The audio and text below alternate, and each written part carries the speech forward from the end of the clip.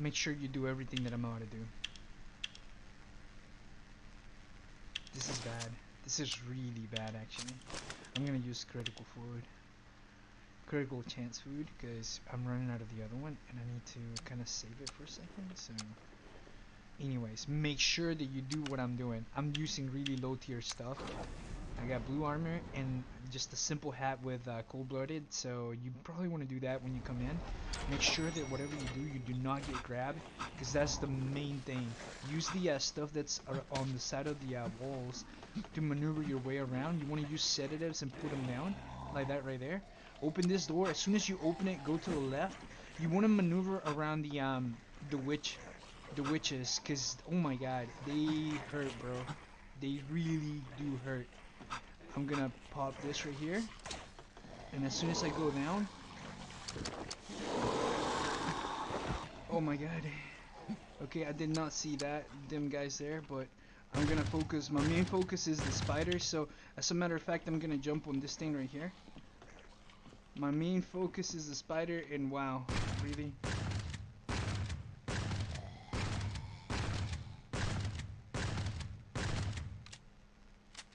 Come on, come on, come on.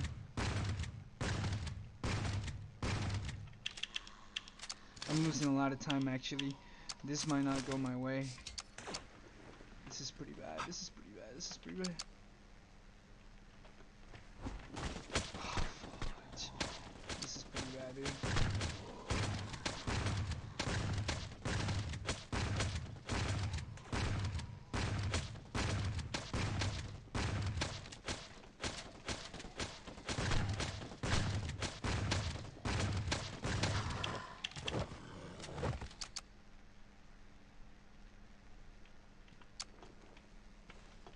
Do not get grabbed once again.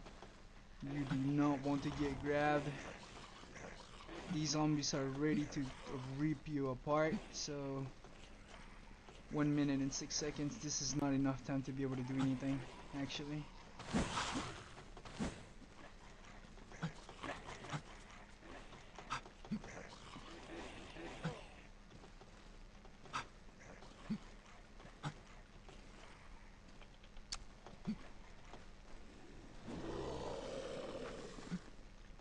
Witches hurt so much, dude.